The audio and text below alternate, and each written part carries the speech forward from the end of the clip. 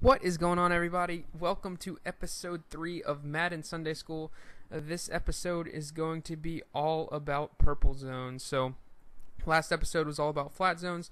This time, all about purple zones. Now, there's three different type of purple zones you'll see throughout the game, and that is going to be your curl flat, your seam flat, and your quarter flat zones. And each of them have their own unique behavior uh, based off of sometimes based off of you know the formation your opponent comes out in, sometimes based off of uh, the route combo uh, that uh, your opponent is running against them, and sometimes uh, just based off of their default assigned behavior. Uh, that you're going to see basically every single time. So, getting right into it, the first type of zone you're going to see is a curl flat. Now, curl flat you're going to see mainly in these cover three style defenses, cover three buzz, cover three sky, stuff like that. Most stock cover threes will have these curl flats as their stock outside zones, and you can kind of think of them if you watched episode two with flat zones as the equivalent to cloud flats out of a cover two. So they're basically going to have the same responsibility eh, in their name. You can kind of see curl flat. So their first responsibility is dropping uh, to defend that area of the field that would be attacked by, say, a curl from an outside receiver. Uh, but they're also going to do a good job defending those out routes, those deep out routes, corner routes, you know, C routes, stuff like that. As you see right here, curl flat concept on the left, and you're going to see the behavior that would be expected. It drops back, defends the curl, and for the offense, the right read in that scenario would be to check it down to the flat route by Julian Edelman right there. But that is the kind of behavior you can expect out of the curl flat zones. Um, they're always going to drop basically to defend those e- intermediate to deep outside routes. And then, if there are no intermediate or deep outside routes attacking that part of the field, then they'll rally uh, to the shorter routes and come running up and, and make a play on the ball, whether it be you know a flat route, an out route, a drag route coming across the field, or whatever that route may be, attacking that short, shallow outside part of the field. So uh, that's kind of the behavior you can expect. Nothing too fancy with the curl flats. Uh, probably the most simple of uh, the purple zones, as you're going to see right here. Go ahead, put Edelman on out route, and you can see how he drops back at first, realizes that okay, there's no other routes attacking, uh, you know, the intermediate part of the field behind me, and then he rallies up and attacks Julian Edelman on the out route. Now on the right side, you should see right here that the curl flat route does a great job, and right there, Chris Hogan actually makes an, an amazing catch.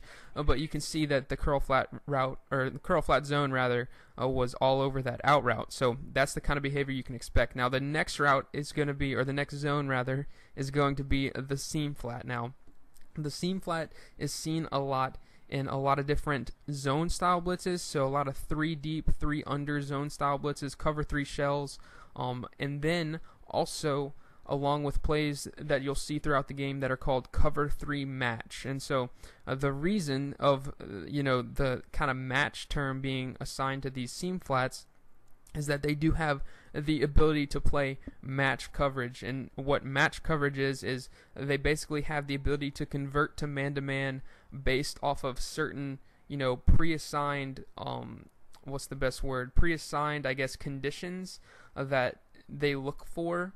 In this case, seam flats, basically what you're going to see is that they will convert to man to man match style coverage if they are defending a side of the field in which there are two or less routes being run. So in this scenario, I'm in shotgun doubles on offense. So what you're going to see on the left side of the field is that you're going to see the seam flat convert to match coverage on Julian Edelman. And then something unique to the seam flat is that it also co like co-aligns with that deep zone on the left. The deep zone on the left is also going to convert to match coverage against that outside route being run by Danny Amendola. Uh, so that's something you're going to want to look for whenever running, you know, a play with seam flats. That's something you're going to have to keep in mind.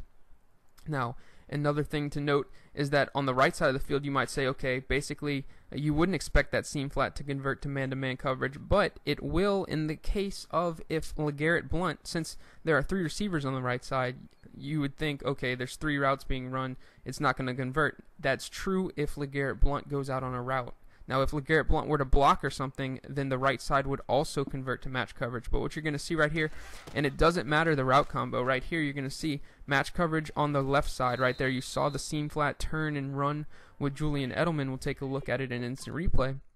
But you saw the seam flat turn and run with Edelman. You saw the deep zone on the left turn and run with Danny Amendola on that deep post route. And that's the kind of you know, um, behavior you can expect from these seam flats and from the deep zones on the same side of the seam flat that converts to match coverage. And you might say, okay, well, Rob Gronkowski, you know, you can see him down there was wide open on the play. Um, right there, just showing you kind of how uh, that deep zone also converted to that match style coverage, ran all the way with Amendola. Didn't matter that he was clearing out and getting into the part of the field that was being covered by that deep safety. That guy was playing match the entire way, and that did leave Rob Gronkowski wide open. I could have easily thrown it to Rob Gronkowski, got a rat catch, got up the sideline, and picked up, you know, 20, 25 yards here. And that's why it's important to know how these zones are going to behave, uh, not only on the defensive side of the ball, but also offensively, you can use this way to your advantage. I mean, if if you know you know what coverage your opponent has been running, and you know how to exploit the coverage that he's been running, then uh, it can improve your you know offensive game exponentially. Uh, by by knowing stuff like this, by saying, okay, he's been running a lot of seam flats on the outside. I'm going to clear out that area of the field and run a drag route across it, and it's going to get wide open. So that's something you could look at right here, it doesn't matter. Uh, the inside seam flat will always match to the inside receiver. It doesn't matter, you know, eh, put them on an out route and in route, you're still going to see the same match style right there. The deep zone defender, once again, an instant replay here, matched all the way up to Danny Amendola. It didn't matter that he was going to be running, you know, right here uh, you can see the crisscross. It doesn't matter that you crisscross. They're still going to stick seam flat to the slot receiver, and outside deep zone still going to stick uh, to the outside receiver. In this case, Danny Amendola. So that can actually lead to huge plays against this match style coverage. If you have, say, a deep post crossing from the opposite side of the field, um, because of the fact that that deep defender does match. Right here on the right side, you can actually see uh, that they do match coverage here because of the fact I think LeGarrette Blunt was on a block and release. So at the snap of the ball, I think the defense read that Blunt was blocking, and so that there were only going to be two routes on that right side of the field, and so they converted to match coverage. But usually, if you have a, a route or a formation rather with three receivers on one side of the field, then you will not see that match coverage from the seam flat. So in this case, if I were uh, say maybe uh, to motion somebody over here, say someone like LeGarrette Blunt or Gronk, hypothetically, if I motioned them over to the left side of the formation, uh, then I would have three receivers on that left side, and therefore uh, that side of the field would no longer convert to match coverage. That seam flat and that deep zone uh, would then drop back and just kind of play their normal sign right here. If I were to motion LeGarrette Blunt over, you could expect uh, no match coverage to take place, uh, since in this case there's now three receivers. You see uh, the seam flat jams Edelman off the line of scrimmage and then rallies and basically plays what would become a standard curl flat type of zone. As you see in instant replay here, you see the jam and the curl or the seam flat rather drops back, kind of playing defends just like a curl flat, defends that intermediate to deep sideline type of area, realizes, okay, nothing's breaking in that area, I don't have to worry about it, and then comes up and rallies to the short outside route right there being run by LeGarrette Blunt. So in that case, obviously right here you can also see no more matching from that deep zone defender. Uh, basically, he plays off of what the seam flat does. If the seam flat matches, then he matches. If the seam flat doesn't match, he doesn't match. So right there you can see he peeled off of that post route, whereas before he was completely carrying it, you know, the entire way. He wasn't peeling off whatsoever. So uh, that's a type of situation uh, where you can see how the formation alignment affects whether or not the match coverage occurs, and that's what you're going to see from a seam flat perspective. It's all about the formation alignment. Two or less receivers, you'll see match coverage, and three or more, you'll see regular seam flat. So the fourth and final purple zone here is going to be the quarter flat out of cover four. Now, you're basically only going to see this zone out of cover four style defenses. It actually gets its name quarter flat uh, from the fact that you know there's four deep defenders and each one defends their quarter of the field. You can split the the field up into four quarters with four deep defenders. Uh, so that's why this zone is only seen really on cover four style defenses. And this might be the trickiest purple zone of them all, although seam flats can get kind of finicky, but quarter flats are also kind of odd at times. Um, basically, what you're going to see from them, they also have the ability to convert to match coverage, and it's only going to be against inside receivers running outbreaking routes or running routes that attack their area of the field. So, for example, if you were to run Julian Edelman on an out route to the left, the quarter flat would convert uh, to match coverage. If I were to run Rob Gronkowski, say on a drag route going across the field, you might say, oh, it's not an outbreaking route by an outside receiver, but it is an inside receiver who is attacking that outside quarter flat area. He will still convert to match coverage uh, against an against a drag route, a shallow drag route by Rob Gronkowski. It attacks the flat quick enough I think the game just picks up on right here. You're going to see how he clamps down, and now he's running with him. My playmaker Gronk up the sideline, and he's running stride for stride with him up the sideline. So I think the game picks up on basically if there's an inside receiver who attacks this area of the field within you know however many seconds of the start of the play then you'll the the defender converts to match coverage right there you see once again he converts to match and he's running all the way up the sideline with Gronkowski so that's something to take note of, and it's only something to, to really remember for quarter flats is that it's only for inside receivers. The quarter flat will not match coverage against outside receivers ever. It, it only works if it's an inside receiver. So right here, Julian Edelman on this out route, you can expect the quarter flat to convert to match right there. He he has ma- now matched him, and he's going to run up the sideline with Edelman, try to squeeze that in there.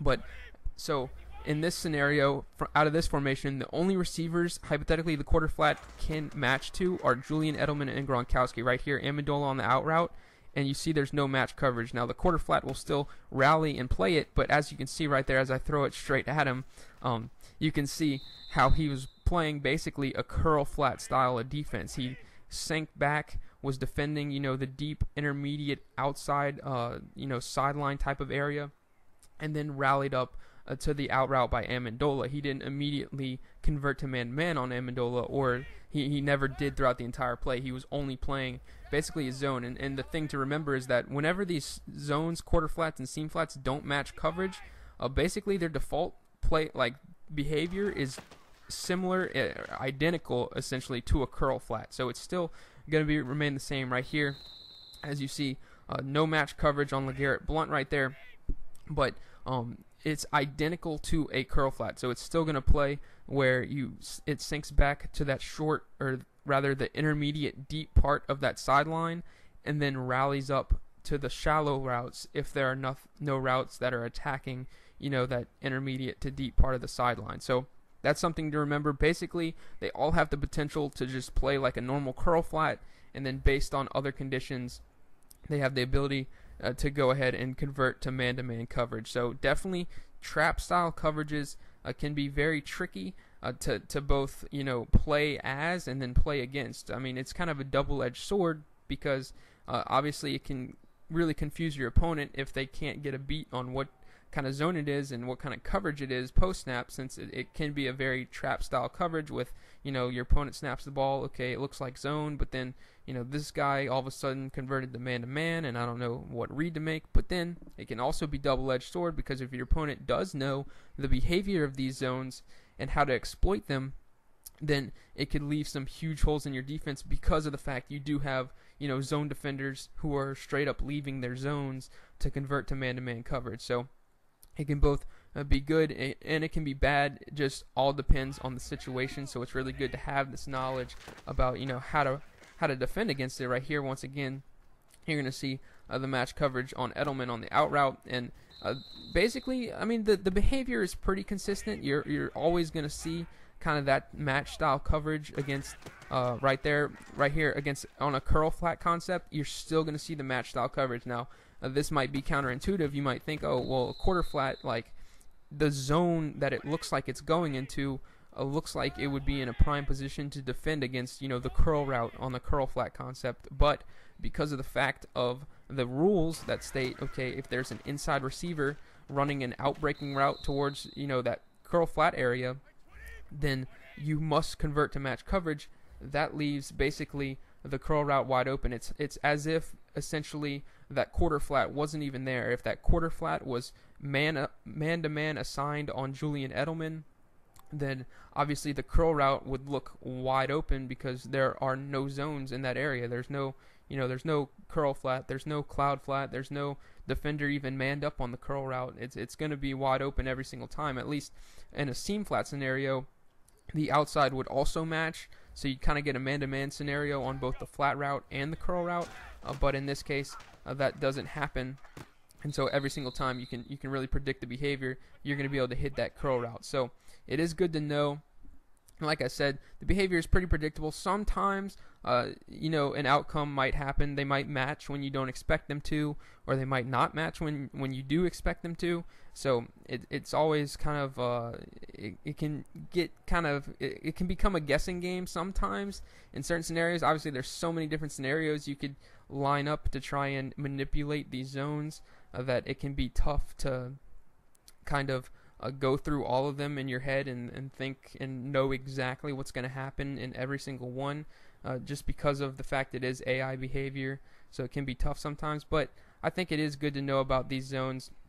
And I, I think obviously any knowledge uh, that you can have is, is, good knowledge. So I hope you guys enjoyed the video. Definitely let me know what you guys think. Um, let me know what I can do better for future videos. Um, next video, I'm going to be going over those yellow zones in the middle, hook zones. I think there's four different types of hook zones, so be on the lookout for that next Sunday. But like I said, hope you guys enjoyed the video a lot. Definitely let me know what I can do better for future videos. And until next time, guys, take it easy.